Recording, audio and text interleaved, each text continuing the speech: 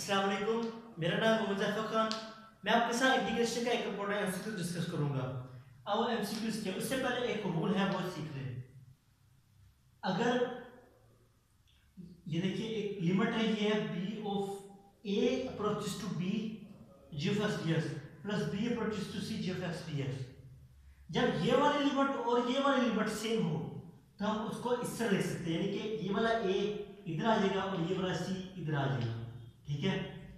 और जो ये वाला बी है, हम उसको नहीं, यहाँ पे काउंट करते हैं ठीक है? ये एक रूल है। अगर हमें यहाँ पर कोई फ़ंक्शन दे दिया जाए और यहाँ पर दे दिया हमसे ये पूछे तो हम बता सकते हैं। अगर ये ए ऑफ़ सी है, ठीक है? यानी कि जो नीचे वाली वैल्यू नीचे आएगी, जो ऊपर वाली ऊपर आएगी। ठीक है? अब आगे रूल क्या है? अब यहाँ पर ए आ गया, ऊपर सी आ गया। यहाँ पर नीचे है, यहाँ पर ऊपर। ये G of S G X आ गया। अगर ये दोनों लिमिट चेंज हो जाए यानी कि ए ऊपर चला जाए, सी नीचे आ जाए। तो हम इस केस में क्या करते हैं शुरू में माइनस लगा देते हैं।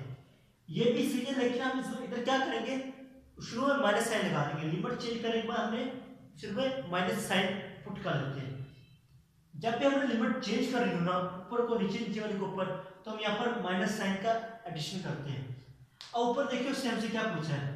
उससे, ऊपर उसने हमसे पूछे three minus two F of X G X three minus two F of X D X ये उससे पूछा हुआ है। अब उसने हमें क्या दिया है? एक थ्री ये देखिए three one F of X D of X plus one minus two F of X D of X ये वाली फॉर्म बन गई, ये वाली फॉर्म ये देखिए ना, ये वाली लिमिट सेम है, ये माइनस टू इधर आ गई थ्री इधर आ गया। अब हमसे वो ये चीज़ पूछ रहा है, और हमें ये वाली चीज़ क्या दी हुई है?